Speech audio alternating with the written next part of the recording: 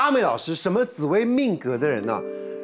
你必须必须必须要放轻松，你才会更好命。OK，好，其实这个题目我们就反过来说，就是到底谁压力最大嘛？其实这个排行榜就是这样。其实所以真的对一二三名，到底哪一个主星压力最大？我们要看我们命宫的部分。来，第三名就是我们命宫上面是武曲的这颗星象，就是我们刚刚特别提到的这颗星象。武曲呢，我们刚刚讲到，所有事情里面呢，压力最大，一定要有事情做，就是这个组合。所以这个组合压力来自于什么？没有事情做。这件事情是非常特别的。武曲是一个非压力来自于没有事情做。对舞曲的状况是，他一定要有一个重心，让他知道他现在或是明天可以干嘛。如果没有这个东西，他就会焦虑，尤其是女生，当下没办法只做一件事。就是我在做这件事的时候，我就我就开始想到，哦，我等一下可能还要去煮饭，我等一下可能要先买什么，我明天可能要准备些什么。对就明明在做一件事，可是没办法，会一心二用。但是无权能力特别强，所以强才能够一次有两个想法的思维，所以这个组合很难放松，无时无刻就是他比较都有事情。命苦，比较累啊。对，没错，对不对是这个意思。但是解决方法就非常简单，就是一直不断找事情做。你会发现浩文姐刚刚的故事，她自己有讲，她明明就可以过着，比如说就好好弄蛋糕的生活，但她会发现，哦，考证照好像不错哎，他就把自己跳入了一个有压力的环境之下。所以舞曲解决焦虑的方式，跟让自己放松的方式，叫做持续的找下一个目标跟自己喜欢的事情去完成，这样就好了。哦，对，来再一下，我们来看一下第二名。来，第二名是我们的廉贞这颗星哦，两位来宾都没有，跟大家介绍一下，廉贞这颗星呢，在命盘上面呢是标准把一百分会做到一百二十分的星象，是一个自我要求非常高的星象。所以如果你的命宫是廉贞，你会发现我做什么事情很在乎别人怎么看，别人对我的要求是什么，以及别人的外表让我看起来我呈现出来是什么，所以心理压力自然大。所以呢，连真如果要解决自己的情绪问题，有个状态就是，你可以多去探索自己的，比如说生活创新，甚至出国旅游，会让自己放松。像刚刚的舞曲啊，我就不建议出国旅游的原因，是因为舞曲有时候出国压力更大。他会觉得哦，我要做，我要准备这个东西，我要做这个东西，我觉得那个谁好像这个没做好，我一定要怎么样？他反而压力哦，大。他光呃盥洗包里面要带什么，保养品要带什么们家，你我们家的安全从结婚药包要带什么？从结婚第一年，所有出国旅行都是我，我老公就只要人去。啊，舞曲是找事情做，但这个事不是叫做呃我要去玩，我反而不会说舞曲去玩，而是你去享受你生活中的成就感。但享受不了啊。对，你那看他点光盥洗包就要各种包保养品，大瓶灌小瓶啊，要装多少几公分啊，这个要完了要擦什么的。然后自己点错菜，他还走很前面。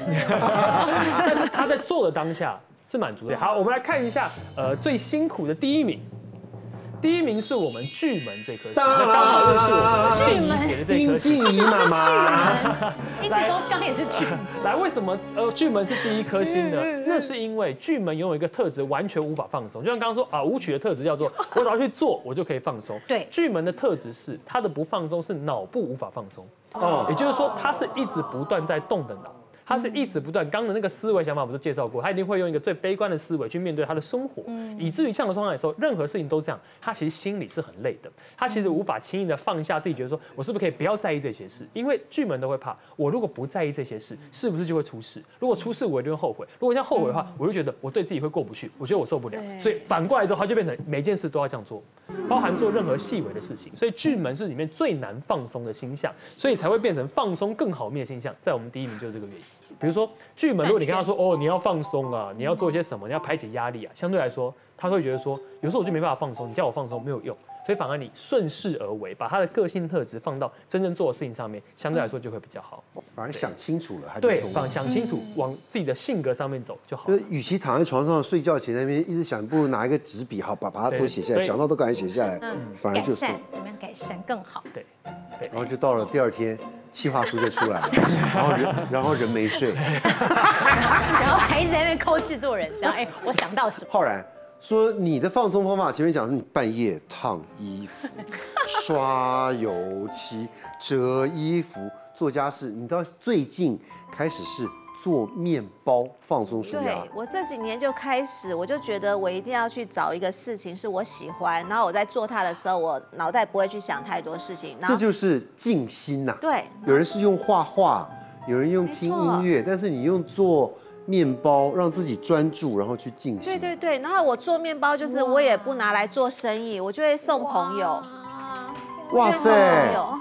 这个是这个是那个德国德式的那个咸咸面包，哦，里面有时候包火腿什么的，对。热这个嘞。然后这个是果冻，漂亮哦。雕花太它夸张了。是它是果冻，然后再用红萝卜啊，或是火龙果那些颜色，然后天然颜色用针筒打进去，打成花。哇哦，哎，你这个这个要这要搞多久才能做出成品？它其实不会很久哎，因为它就是把那个可是你前面的前置啊、后置啊什么很多吧？前置也还好，那这个是最简单最快的，这还最简单的哦最简单的。那面包是最久的，因为面包哎你从这个为什么可以做成一个兔宝宝的样子的吐对，那就是因？为前两年你知道处女座就是有种个性，因为我去某一个百货公司看到一群人在排队，因为前两年不是出了这个兔兔猫咪吐司吗？嗯对对对，我就觉得说，猫咪吐司我为什么要在外面排这么久，然后这么贵？自己做，我就回家就自己做了那个兔兔啊，还有猫咪，下面是熊熊，这是熊熊的，对，然后就做给小孩子当早餐哦。我就觉得说，哎，自己做我就不用去排了。然后那马个是卡龙也马卡自己做龙，马卡龙也自己做。我就觉得在做这些点，所以你说我是不是就劳碌命？而且从你的作品可以看得出压力很大。这个嘞，今天带到我们棚里面，这个叫可丽露，对，这你又最新的，这是因为我女儿她喜欢吃可丽露，我就说好，那妈妈去学，我就去。对，这我先吃吃看。好，为了孩子可以做哎好多事你。们为什么这可丽露是边边还是脆的跟酥的啊？那才是好吃。因为其实真正好吃的边边要是脆的，是没错所以我因为它这个很累哦，它不像果冻，果冻可能两三个小时就做好，这个可能要花半天的时间。啊而且面糊要前一天就要做，做好之后你要冰冰箱，冰十二个小时之后才能回温，回温你可能要花两个小时去烤，然后要用最高温去烤，烤完之后等它冷却，你要马上进冷冻库，因为你不能放在外面，它湿气慢慢会。然后你们今天吃到的是我早上从冷冻库来的时候，整个从冷冻库拿出来，然后到这边刚好退冰，可它这刚好退冰为什么还是脆的跟酥的这边边？所以你看我是不是就是劳碌命？我连可丽露怎么回温怎么样，我都要都会去想好。对，哇，你压力真很大。那你这些都，你你这些都挑战完了，你接下来想挑战什么？呃，没有，目前其实也没有挑战呢。挑战做航很多人都空母会说，舰啊，什么风车什么？就是啊，我前阵子做完面包之后，就很多人问我说，你为什么不去考个证照？我就想说，那好吧，去试试看。然后我就在三个月前就考上了证照。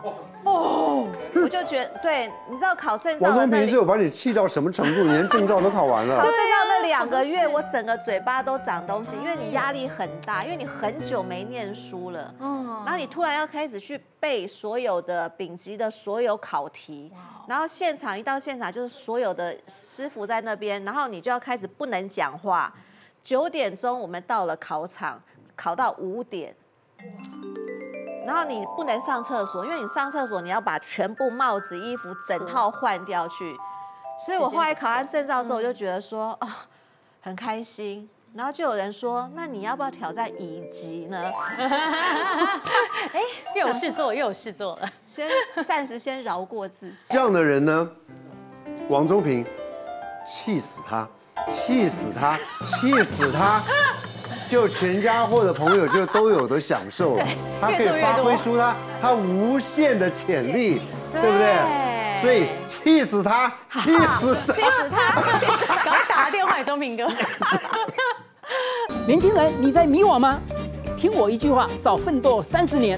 让老师帮你指点迷津，从躺平族变成人生胜利组。跟着星象趋吉避凶。